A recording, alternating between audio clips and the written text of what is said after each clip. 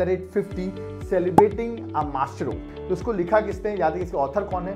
बोरिया मजुमदार। याद रखिएगा। बुक है collective spirit and concrete action ठीक है?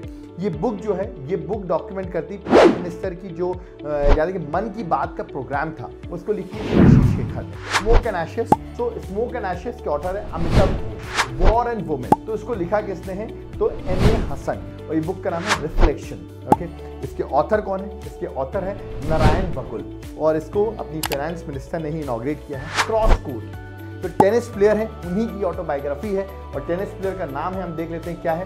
That is Jagdeep Mukherjee that is the spare और ये किसने लिखी प्रिंस हैरी वो इसके ऑथर है। इंटरनेशनल बुकर प्राइज 2022 जो मिला है इंटरनेशनल वो मिला है टॉम ऑफ़ सैंड को। ठीक है, इसकी राइटर है गीतांजलि श्री।